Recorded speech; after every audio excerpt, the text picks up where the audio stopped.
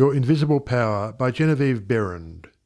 CHAPTER 14 How to Make Nature Respond to You It should be steadily borne in mind that there is an intelligence and power in all nature and all space that is always creative and infinitely sensitive and responsive.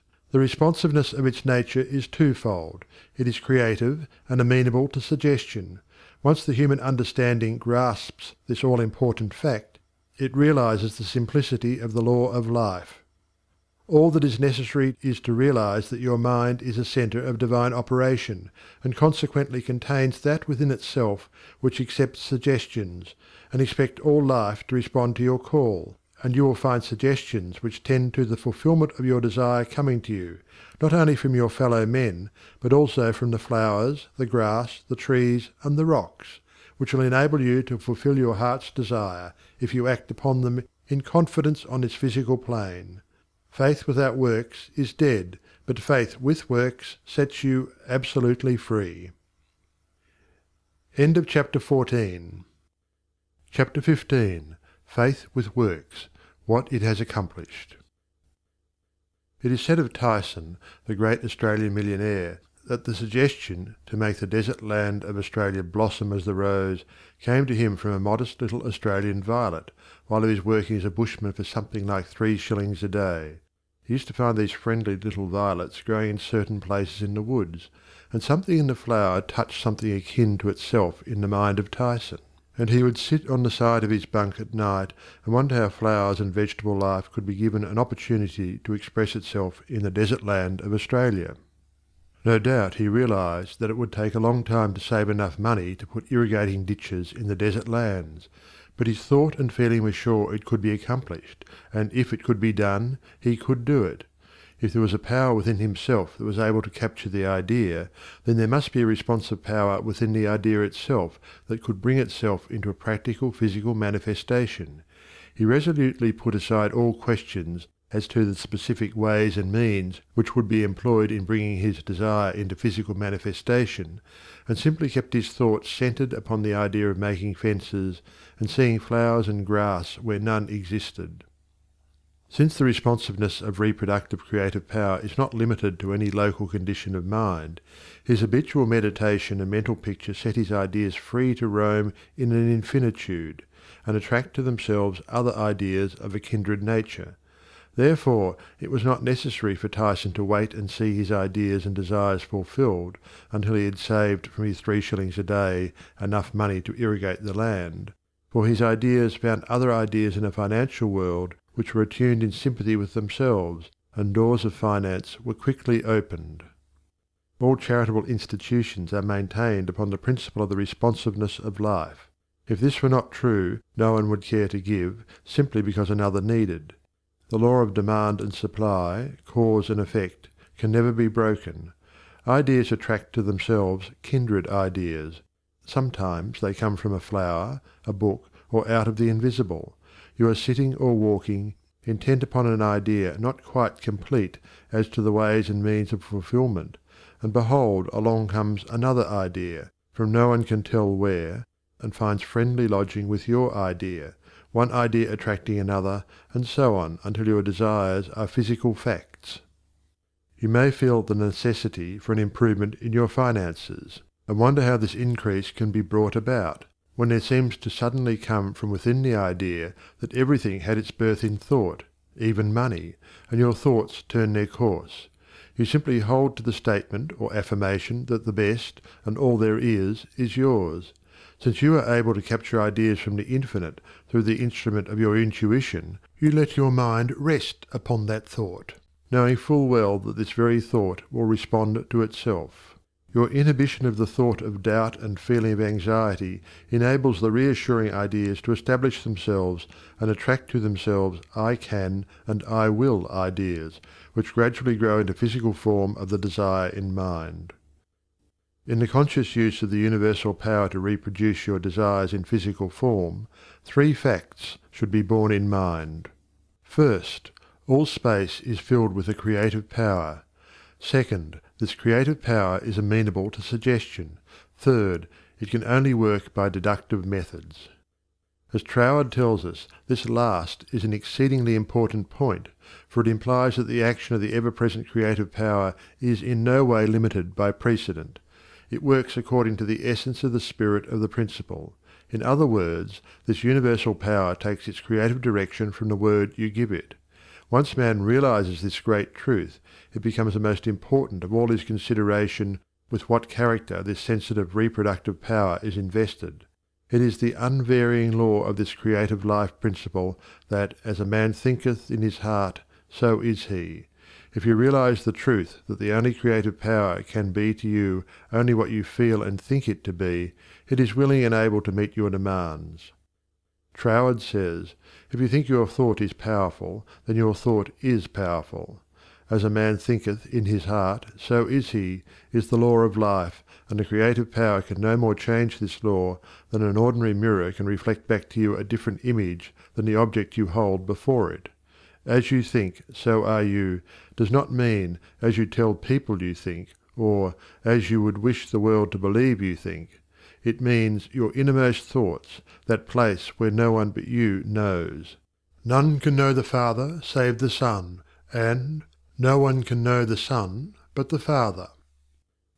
Only the reproductive creative spirit of life knows what you think until your thoughts become physical facts and manifest themselves in your body, your brain, or your affairs. Then everyone with whom you come in contact may know, because the Father, the intelligent creative energy which heareth in secret, hears your most secret thoughts, rewards you openly, reproduces your thoughts in physical form. As you think you know, that is what you become should be kept in the background of your mind constantly. This is watching and praying without ceasing. And when you are not feeling quite up to par physically, pray.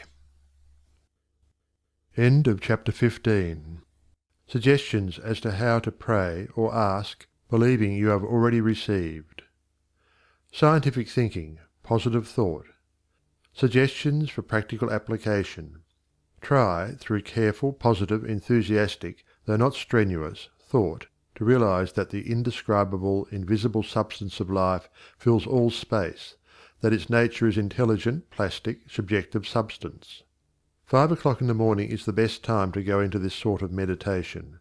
If you will retire early every night for one month, before falling asleep impress firmly upon your subjective mind the affirmation, My Father is the ruler of all the world and is expressing his directing power through me you will find that the substance of life takes form in the moulds of your thoughts. Do not accept the above suggestion simply because it is given to you. Think it over carefully until the impression is made upon your own subconscious mind understandingly.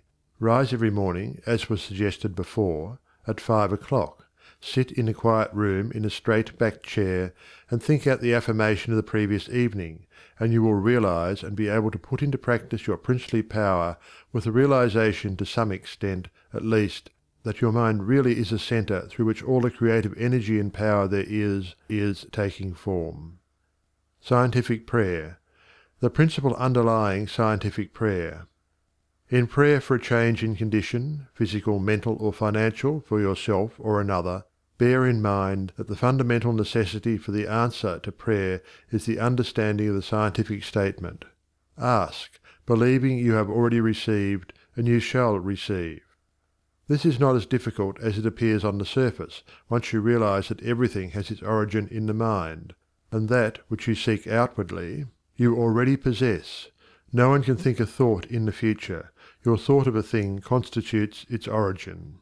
Therefore, the thought form of the thing is already yours as soon as you think it. Your steady recognition of this thought possession causes the thought to concentrate, to condense, to project itself, and to assume physical form. To get rich through creation. The recognition or conception of new forces of wealth is the loftiest aspiration you can take into your heart, for it assumes and implies a furtherance of all noble aims.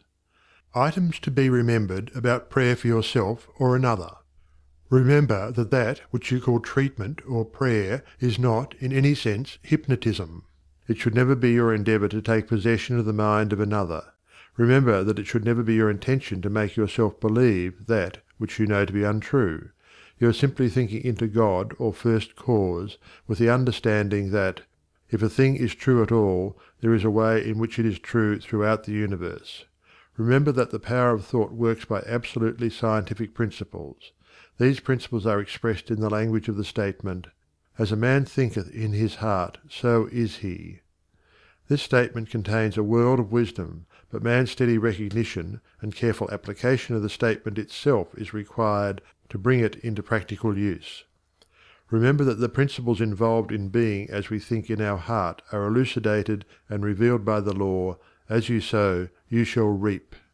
Remember that your freedom to choose just what you will think, just what thought possession you will affirm and claim, constitutes God's gift to you.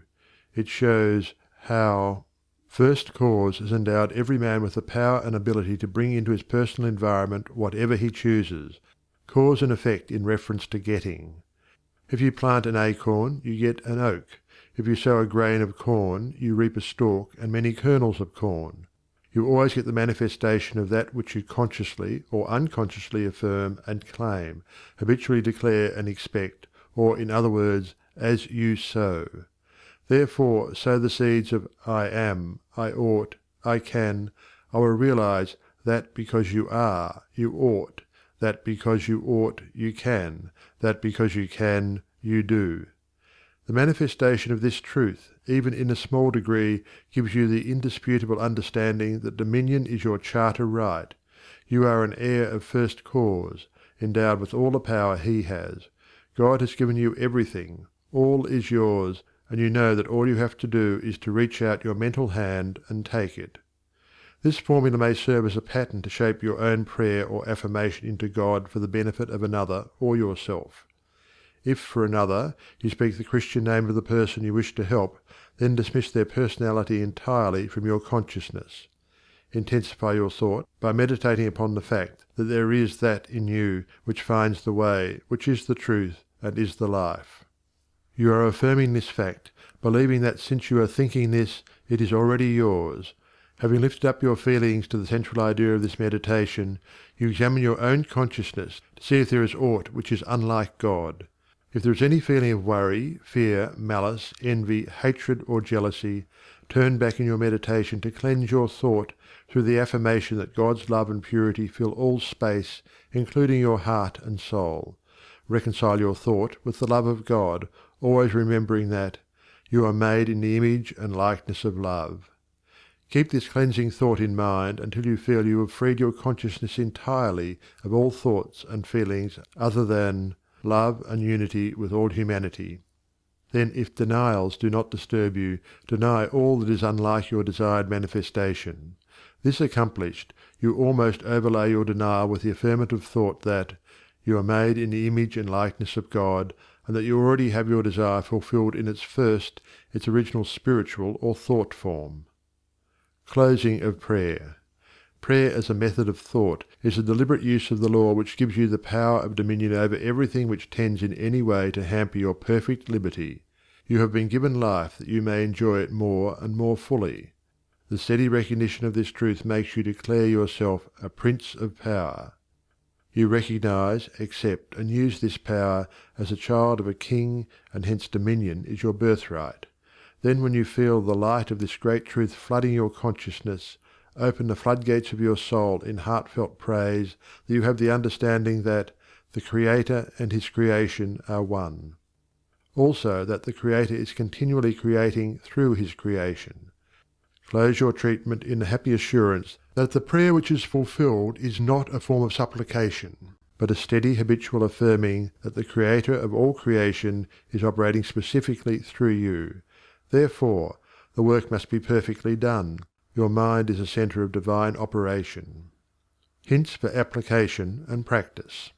For every five minutes given to reading and study of the theories of mental science, spend fifteen minutes in the use and application of the knowledge acquired. 1.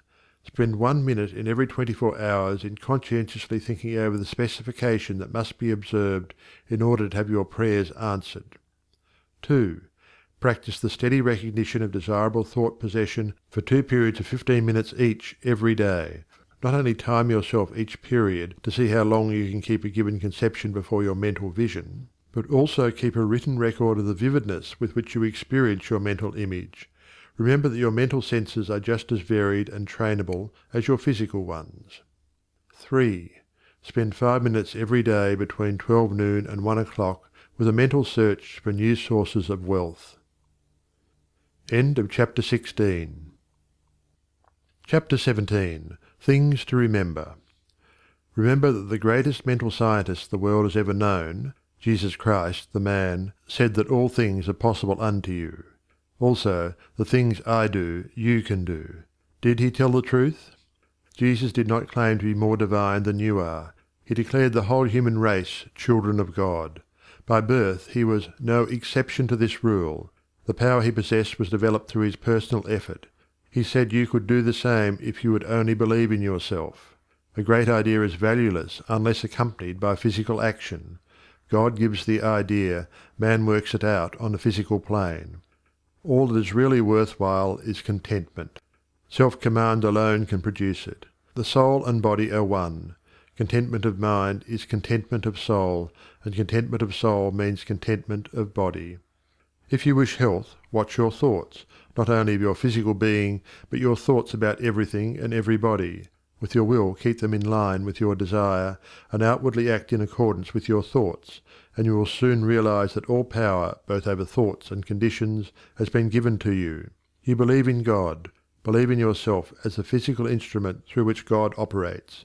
Absolute dominion is yours when you have sufficient self mastery to conquer the negative tendency of thoughts and actions.